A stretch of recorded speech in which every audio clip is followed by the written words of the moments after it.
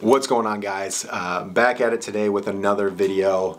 We're actually going to do another review. Uh, after I did the shoulder rock review, I actually, I really enjoyed doing that video. So I did a lot of thinking and I think doing reviews is something that I want to make a staple on the channel. Uh, still gonna vlog, still got some other ideas for some other stuff to do, uh, but I really enjoyed doing that review and I think that's a great way to kind of give back to you guys. Uh, so that's something I'm gonna try and do on a pretty consistent basis here. And so that's what we're gonna do today. And today I have got these guys. Uh, these are the PRX Performance barbell collars. And now you may be asking, how is a flat thing like that a barbell collar? Well, they are basically slap bracelet barbell collars. Yeah, you heard that right. I'm taking you back to the 90s right now with some slap bracelets. Um, I actually saw these uh, in my Instagram feed as an ad probably about a month ago. I kind of laughed. I'm like, that's super gimmicky. I doubt they're going to work. And so I just kept scrolling. Coincidentally, probably about a week or so later, a buddy of mine that I work out with all the time I was talking about wanting to purchase some, some barbell collars. He's really starting to get up there in weight. And when you're throwing four or five plates on the bar, um, you really don't want those plates to move around a lot. It can throw off your rhythm and it's just nice to have them secure. And the, the, the collars at the gym just don't cut it in that regard. Uh, so he ended up purchasing the, uh, the Rogue HG 2.0, I believe is what they're called. And so after he told me he purchased those, I'm like, you know what? Let me go ahead and buy those PRX Performance ones. And I'll do a review where I kind of pit them against the Rogues and see how they stack up. Uh, Rogue makes great quality products, uh, so at the end of the day, I, if they can even hold up somewhat against the Rogue, they might actually be worth it. Uh, so that's what I decided to do. Uh, we ended up doing a deadlift workout with them. As far as I'm concerned, I think that deadlifts is probably, of the big three, the one movement that puts the most wear and tear on barbell collars. Uh, I think the up and down motion, especially when the weight hits the ground, uh, it just puts a lot of strain on it, um, especially with movement of the plates too. I think you're going to see the most movement with deadlifts rather than squats or with, with benching. And so I figured that'd be the best way to test these out. So that's what we did. I'm going to share that footage with you right now and we'll come back, uh, share my thoughts and whether or not I think these things are worth it.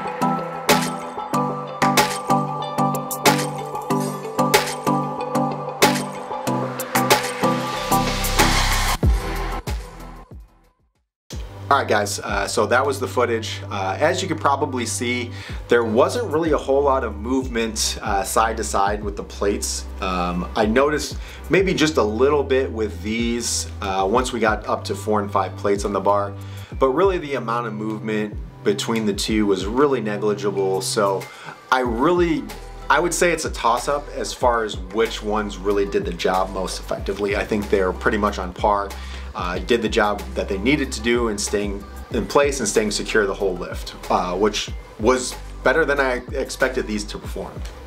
The one place I will give these an edge up was in their ease of use. So uh, if any of you have the Rogue collars, uh, you know that there's a there's a rubber coating inside that grips the bar. And when you're sliding those onto the, the sleeve, sometimes they get caught a little bit here and there as you're moving it on. So you kind of got to go like this. And so that can be annoying. Uh, it's the same thing taking the rogue collars off. They can kind of get stuck as they're coming off. It's not really that much more time consuming, but just kind of more annoying than anything. But with these, I didn't. we didn't really experience much of that. The only downfall to these initially was simply figuring out where to position this on the bar. So obviously you don't want to just go up and slap it like that because then you're going to have to try and lock this up underneath. And so what we figured out is you just take it and line it up like this, hit it, and as this flips around, it's gonna come up right to the top of the bar and you're gonna be good to go. And then once we figured that out, these were really a breeze to put on. And then actually taking these off was the easiest thing that I really ever experienced as far as barbell collars go. You literally just grab this this tab and you don't have to do anything other than just grab and pull and it just it just comes right off which was pretty nice. So obviously that's not a big deal but it is going to save you a couple seconds here and there and a little bit of frustration which is nice. So with that being said when it comes to a comparison that's really the only leg up I would give to these per se. Uh, but let's talk about a couple more pros and cons and then I'll just kind of give you my final thoughts. Uh, so one of the other pros uh, I liked about these was just the one piece construction. Um, there is some metal in there obviously, they are magnetic.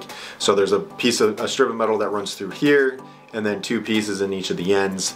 But other than that, it's basically just one piece, which is probably why it's so easy to use. Uh, the second thing is that it's super lightweight, super compact, so they don't take up much room in your gym bag, which is really nice. And if you don't have a gym bag, at the end of the day, you can just and carry them like that if you really wanted to. Not much of a fashion statement, but it'll work. The final pro for these, I believe, is the price. Uh, they were $24 shipped.